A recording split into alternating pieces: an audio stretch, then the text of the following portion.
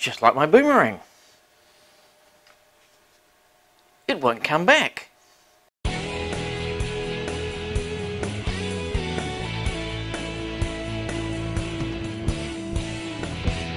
Hello fellow CNC Nutz and welcome. In this episode I'm going to show you the One Direction issue and the simple solution to fix it. Now this usually only occurs when you're setting up your machine for the first time or if you're incorrigible like me if you've been fiddling with it. A One Direction fault is usually quite simple. You've simply broken the wire that goes from the direction pin on the axis to your stepper motor driver. If you lose that, an axis will move only in one direction. So you check the wire and you find it's actually intact and then all of a sudden it's have I broken it? Well in this case the answer is no. Well hopefully no anyway. But there's one simple thing you can do before you start pulling the whole thing apart trying to find out what the issue is. And that is take a look at the screen. So I've zeroed out the y-axis and if you take a look there on the top of the screen when I turn the MPG you can see it's moving as you expect but look what happens when I reverse direction on the MPG. You can see the DRO for the y-axis is not changing.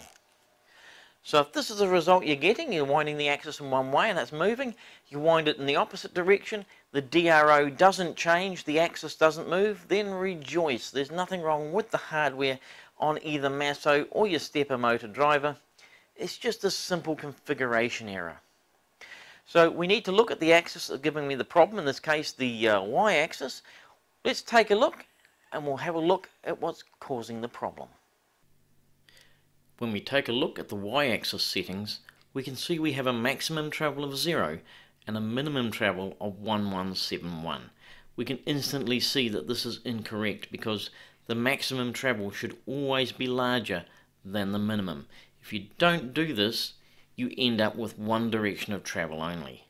To fix this, it's simply a matter of swapping the two figures around. Make sure your maximum travel is larger than your minimum. After I made that change, I repowered Masso to make sure those settings took effect. Let's give it a test. Well, it goes. And it comes back. Excellent.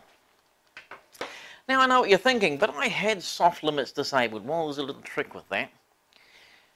Disabling soft limits only disables it while you're running a program. When it comes to jogging around the table, you are bound by your soft limit settings. So it is important to get those set up correctly. And I will make a, a video in the future showing how to set those up. Now there will be a change made to the software to prevent you making this error. But uh, until that does occur, it's important to know that if you're fiddling around with it, as sometimes I do, then uh, you can get this problem. But fortunately, it's really easy to spot and just as easy to fix.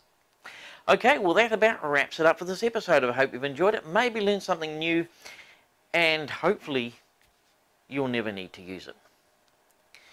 All that remains me to do is to thank you guys for watching. Don't forget to like and subscribe so that, like my y-axis, you can return. Oh, and uh, if you're interested in making a boomerang like this one here, I'll put a link below showing how I made it and you can download the files for it. And by the way, this does come back.